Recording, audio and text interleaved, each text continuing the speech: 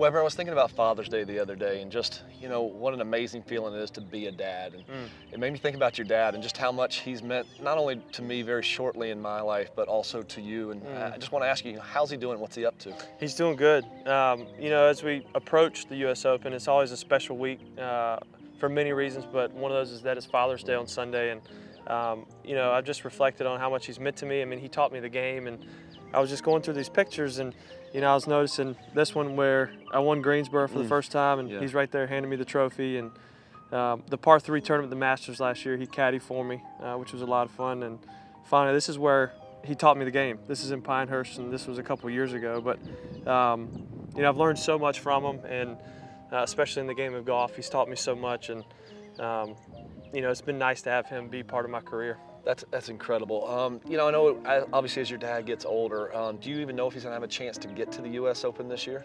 I don't think he can, um, but I know he's going to be, you know, wanting to watch me and, and root Yeah. me on every shot. Absolutely. Well, one very cool thing about this new Samsung phone is take a look at this. So open yours up and just slide it over and you go to live broadcast.